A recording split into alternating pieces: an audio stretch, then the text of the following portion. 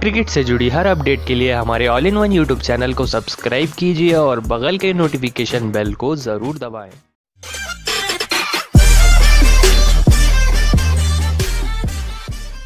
दोस्तों, अगर आप भी भारतीय टीम को एक अच्छी टीम मानते हैं तो इस वीडियो को दिल से लाइक कर दीजिए।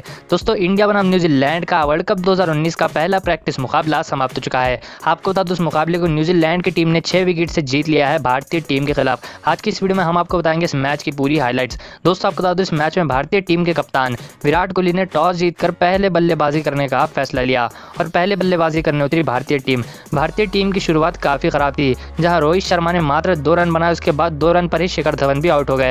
ऐसे कर कर मात्र 12 रन पर भारतीय टीम के दो विकेट चले गए। उसके बाद 18 रन पर विराट कोहली भी आउट हो गए। दोस्तों, आपको बता दो, उसके बाद बल्लेबाजी करने आए थे केएल राहुल। केएल राहुल भी कुछ खास बल्लेबाजी नहीं कर पाए और मात्र छह रन पर आउट हो गए। दोस्तों, आपको बता दो, बीच के ओवरों में तो मानो ताज के पत्तों की तरह बिखर गए भारतीय टीम के बल्लेबाज। ऐसे में मात्र अस्सी रन पर ही भारतीय टीम के छह विकेट चले गए थे। लेकिन मध्य क्रम में रविंद्र जडेजा की चौपन रनों की धाकड़ पारी के चलते भारतीय टीम ने अपने बीस ओवर में एक रन लगाए थे। दोस्तों, आपको बता दो, इस लक्ष्य का पीछा करने उतरी न्यूजीलैंड की टीम। न्यूजीलैंड की तरफ़ से मार्टिन गप्टिल और कॉलिन मुनरो ने काफ़ी अच्छी शुरुआत दी, लेकिन कॉलिन मुनरो मात्र चार रन बनाकर आउट हो गए। उसके बाद बल्लेबाजी कर रहे थे केन विलियमसन, कप्तान। दोस्तों, आपको बता दूँ, केन विलियमसन ने सड़सठ रनों की धाकड़ पारी खेली। उनके साथ साथ रॉस टेलर ने भी इकहत्तर रनों की शानदार पारी खेलते हुए इस मैच में न्यूजीलैंड को छह विकेट से जिता दिया। दोस्तों, आपको बता दूँ, इस मैच में भारतीय टीम के बल्लेबाज कुछ खास प्रदर्शन नहीं कर पाए, जिसके कारण भारतीय टीम को इस मैच में शर्मनाक हार का सामना करना पड़ा। खैर, ये तो प्रैक्टिस मैच था, लेकिन पाँच तारीख से इंडिया बनाम ऑस्ट्रेलिया का मैच चालू होने वाला है। ऐसे में देखते हैं इस मैच को कौन जीतता है। दोस्तों, आपको क्या लगता है, क्या भारतीय टीम इस साल वर्ल्ड कप 2019 अपने नाम कर पाएगी या नहीं?